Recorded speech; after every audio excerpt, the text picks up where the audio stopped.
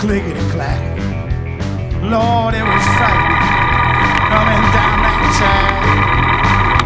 I was wondering